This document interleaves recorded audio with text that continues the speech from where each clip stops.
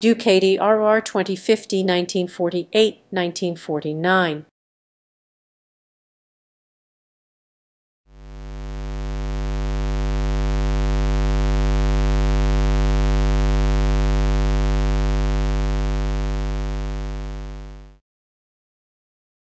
This is the documentation of the experience of a hobby project, available in video and in written form, made with the hope that it could be helpful to others.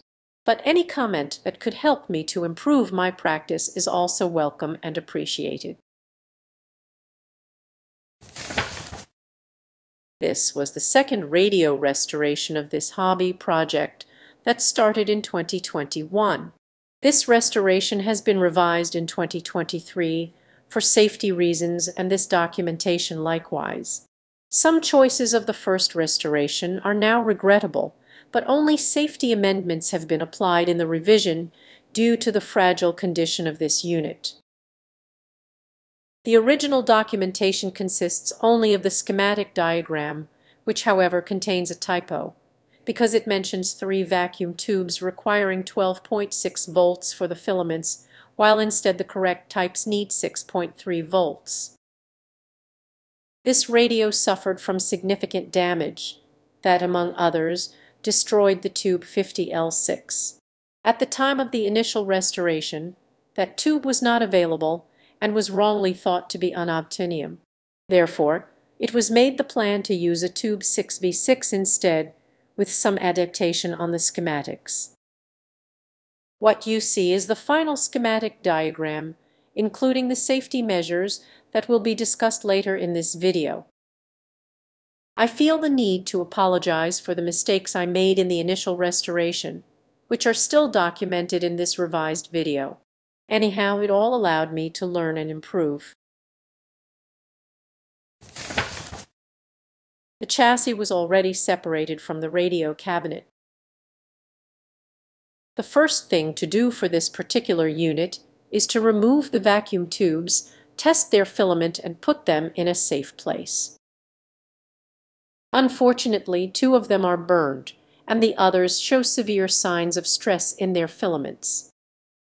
Also a dial light bulb is burned, which gives the clue that the last time the radio suffered an overvoltage, probably due to a wrong input voltage selection. Under the chassis the situation is not much better. A couple of capacitors exploded.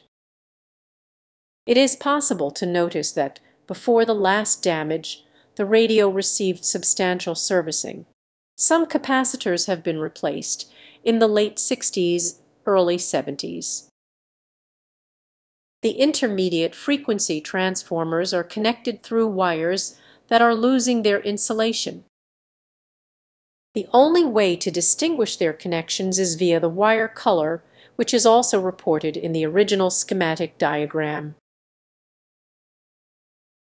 Therefore, to remove the intermediate frequency transformers, it is absolutely necessary to take note of which color each wire has or is supposed to have according to the schematics.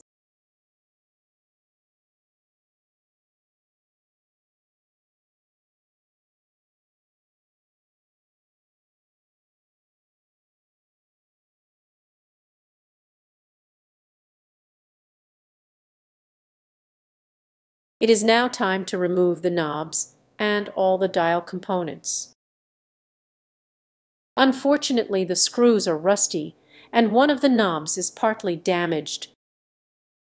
The dial glass is also broken, but that happened before this process of recovery.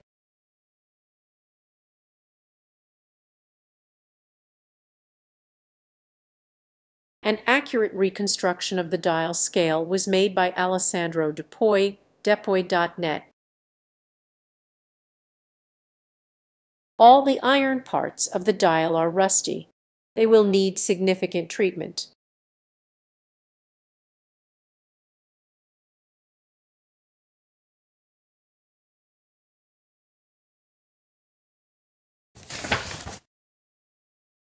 Due to the overall poor condition of the radio, it seems to be appropriate to start dismantling all the components, leaving at the moment only the RF area intact. Even though there is an official schematic diagram of the radio, it is important to write down where exactly the components are connected. That would be very helpful in the process of rebuilding it.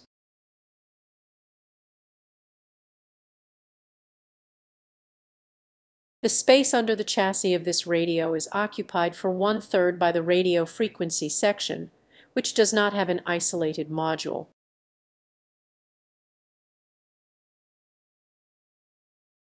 The remaining space is very narrow and, because of that, everything becomes complicated. Some important connections that are not at the same potential as the chassis ground are wired without insulation. In particular, the anodic positive voltage line B+, is not insulated at all. The process of dismantling progresses slowly, trying to understand, at each step, how it would be more appropriate to proceed. In the end everything is removed, including the radio frequency parts, the power transformer, and even the tube sockets, leaving the small chassis completely naked. The chassis and all other iron parts are cleaned from rust and paint residues soaking in white vinegar for 24 hours. Then they are washed, dried and sprayed with a zinc paint. In the meantime, the tuning capacitor is washed in the dishwasher and also the radio frequency coils are rinsed in the same way. But for the RF coils, the dishwasher will prove later to be too hard.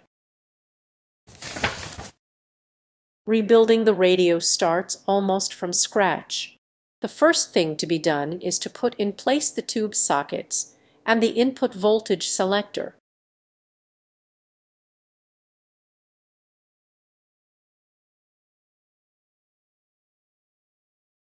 It is immediately clear that the input voltage selector should not be connected because the terminal could touch the chassis creating a short circuit.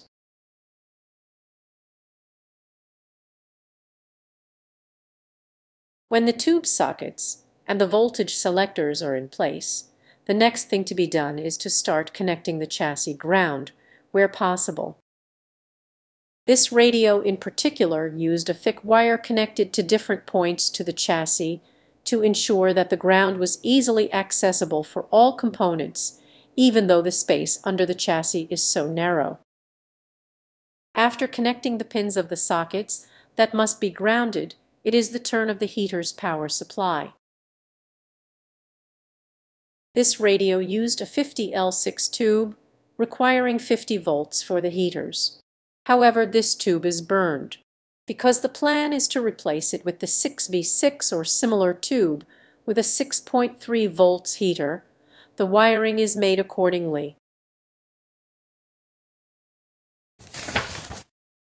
This radio does not have a proper RF module. Everything is just attached around the range switch, occupying the space in the middle of the chassis.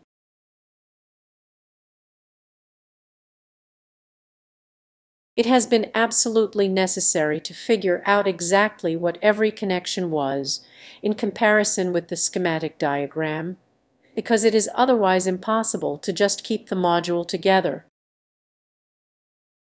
Most wires are replaced and all of them are insulated. The radio frequency components are installed again in the chassis and the last wiring is done. Before proceeding further, everything is checked with the help of a multimeter, because correcting mistakes later would be more difficult. In fact, the medium waves antenna coil does not appear connected to the chassis ground. As already mentioned, the dishwasher was too much for this coil. The coil is uninstalled again and the unattached termination is discovered. The connection is fixed and the coil can be installed again under the chassis. The intermediate frequency transformers that have been removed in the beginning can now be rewired keeping the same color code.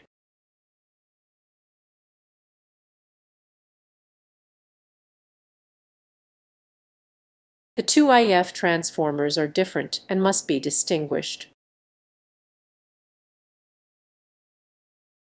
The second IF transformer has one shielded connection. In that case, the shield must be connected to the chassis.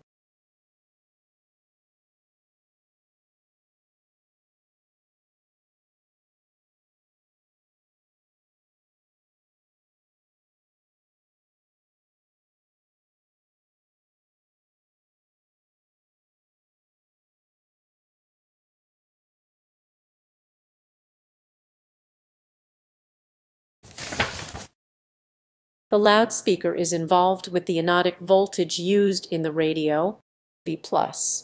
Therefore it becomes the next step in the process of rebuilding the radio. The double electrolytic capacitor should be removed after so many years, even though there is not yet any trace of deterioration. In fact, it appears that the capacitor has a higher capacity than what is prescribed by the schematic and the 6x5 tube. It is possible that that is not the original one, although it comes from the same manufacturer. The old capacitor can is emptied with the hope of being able to put two new capacitors inside keeping the aesthetic. Unfortunately, the two new capacitors cannot fit in that space, so in the initial restoration the shape of the old double capacitor is rebuilt with paper, cotton and aluminum foil. Later all that will be removed for safety reasons. These clips showing the early unfortunate reconstruction of the filter capacitor can are kept only for memory and for fun. Please don't do the same. That would seriously compromise the safety of your projects.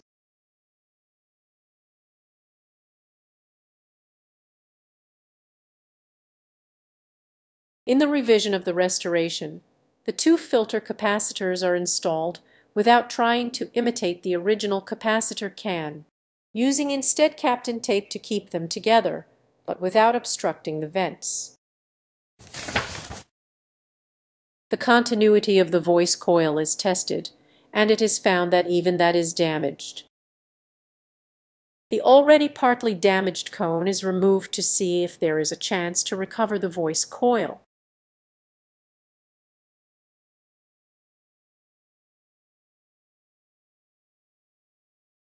In fact, the connection burned outside the coil, but that could not be seen without removing the cone.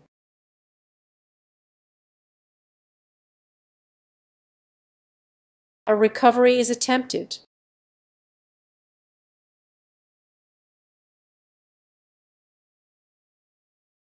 Unfortunately, a cheap solution is tried for the cone using vinylic glue. This experimental attempt will turn into a horror, as the use of vinylic glue will prove later to be really unfortunate.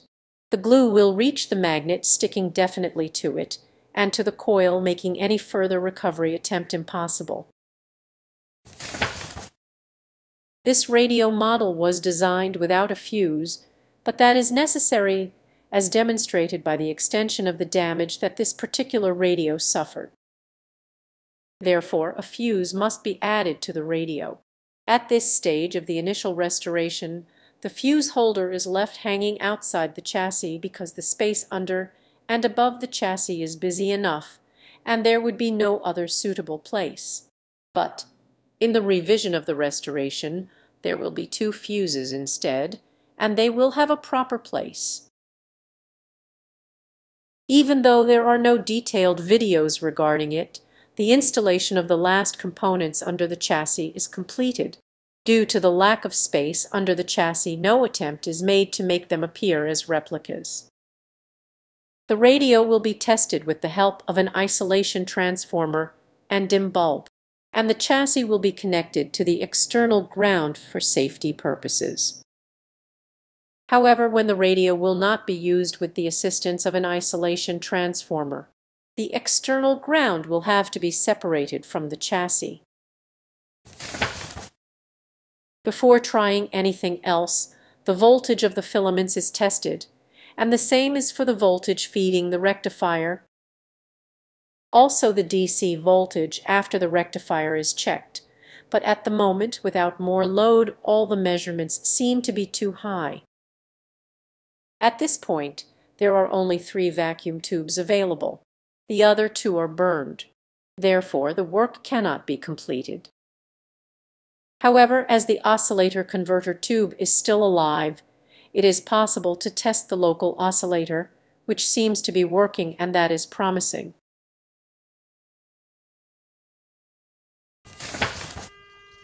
When the replacement tubes are available, the alignment process can begin. A modulated signal at 462 kHz is used to peak the intermediate frequency transformers first. Other frequencies are used to align the dial scale for the medium and short wave bands. But at this stage, without a working dial scale, this part of the alignment was premature. And in fact, it will be repeated later, but off camera. Once the intermediate frequency transformers and the other coils are tuned, the ferrite cores are blocked with some wax. However, what you see here is definitely excessive. In the revision of this video these clips are kept for memory, but please don't do the same.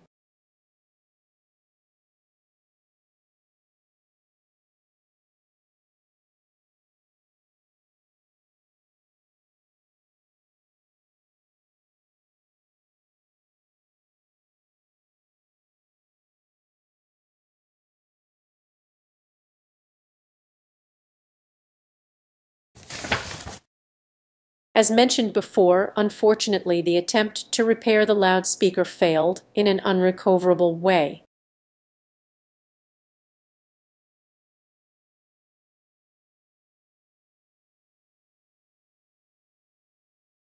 The ruined cone is removed to make space for a smaller loudspeaker.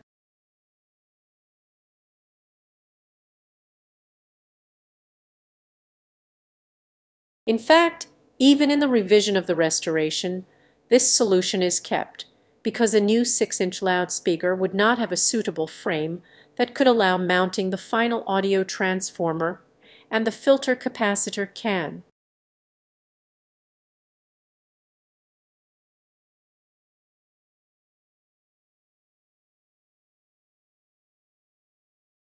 However, the glue alone cannot hold the inner loudspeaker in place.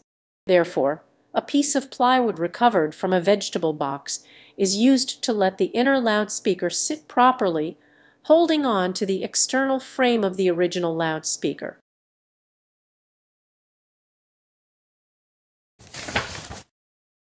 The dial cord is also installed, replacing the old one with a 0.5 mm fishing line.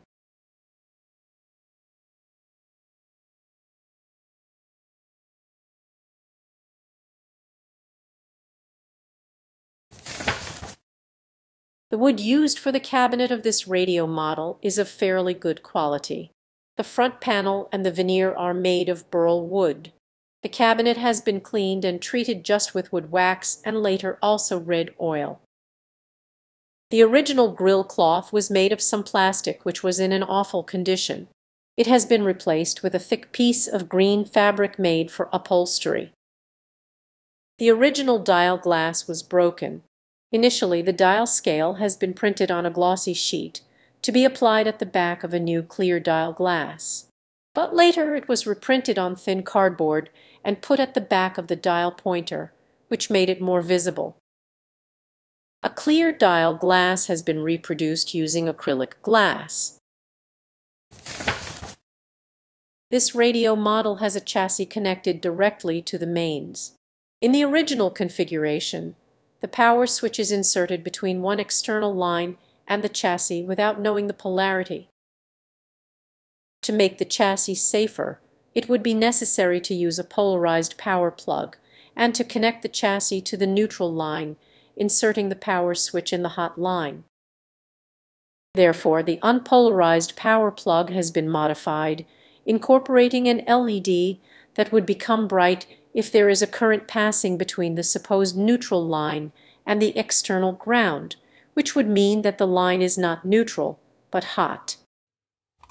This is how the orientation of the plug must be verified every time that is inserted. This is wrong.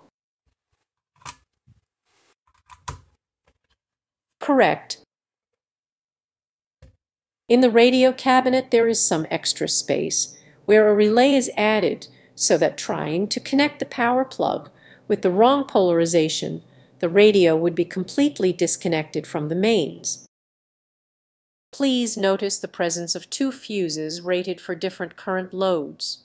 In fact, ideally, the neutral line should not have a fuse because the chassis should remain connected to it even when a fuse blows. However, the power plug could be connected inverting the polarity, and there could be a problem already between that line and the ground which might not blow the other fuse.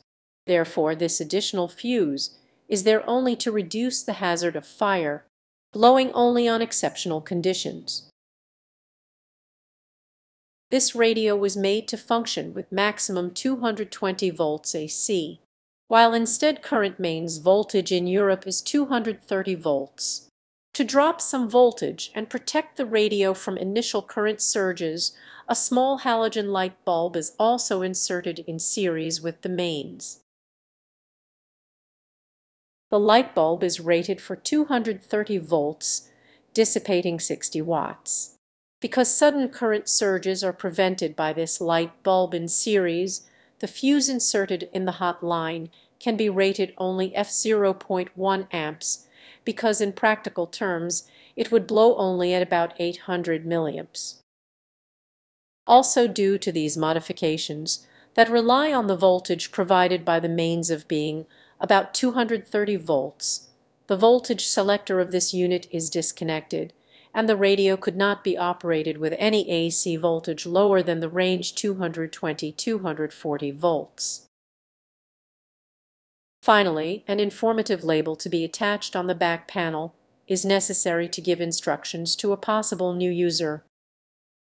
But an additional label folded on the power cord near the plug could also be a good idea. As already mentioned previously in this video, this particular item has been modified to use a vacuum tube type 6V6 in place of the 50L6 to reduce the current required from the 6.3 volts output of the power transformer, instead of the original dial bulbs, a single one operating at 230 volts AC has been installed. Here is also the current limiting halogen light bulb in series. And here are the two fuses and the relay added for safety. The reconstruction of the previous ownership of this radio is incomplete, but it could be still meaningful for the next owners. This radio was found in 2021 in an old warehouse together with an annotation regarding some work done on it. Unfortunately, that annotation has been lost. The radio was in very bad condition as already described, but also partly dismantled probably in the hopeless effort of fixing it. A couple of names have been written with a pencil, witnessing previous servicing. After the restoration, it is possible that this radio will be around for a long time surviving us. Therefore, I think that keeping a label inside the cabinet with the names of the last known owners could add value to it for the next collectors. For safety reasons in this documentation, the names are not shown in full. There is another name after mine. This is because I have already donated the radio to a friend. The Ducati RR2050 radio is ready. Medium wave,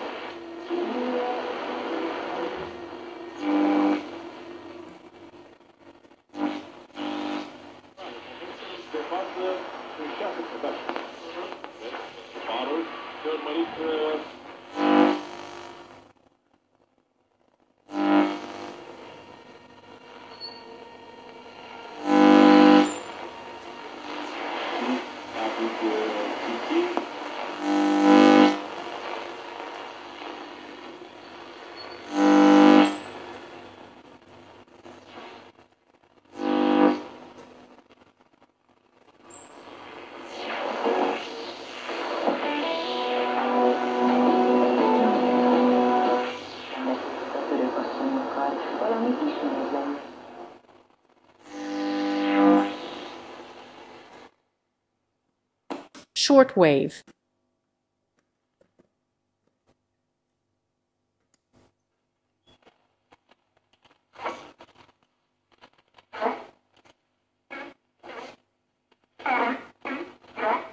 This must be a number station using single sideband modulation.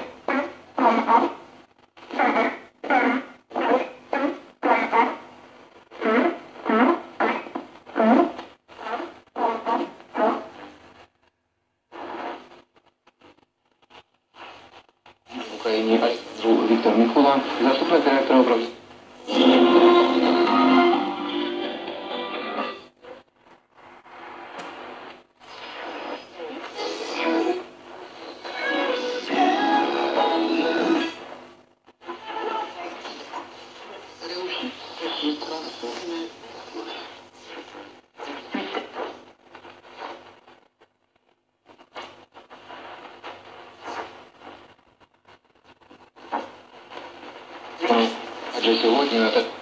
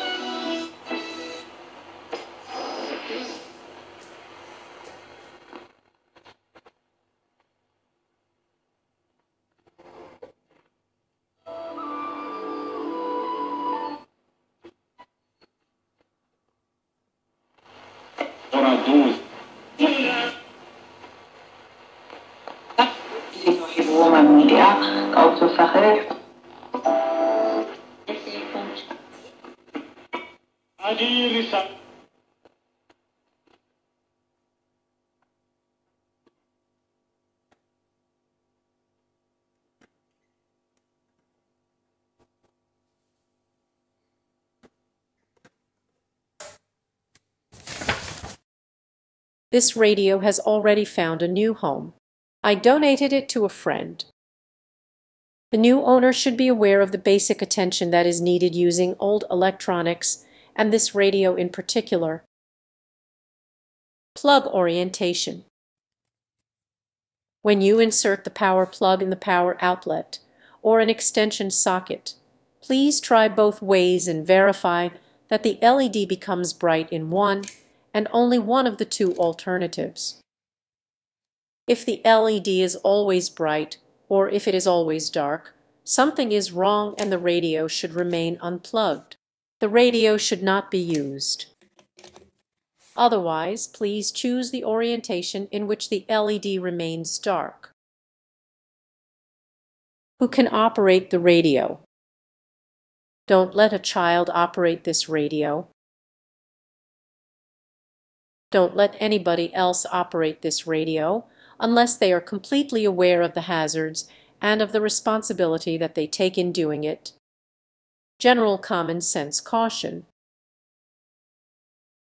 All metal parts are connected to the mains even when the radio is turned off.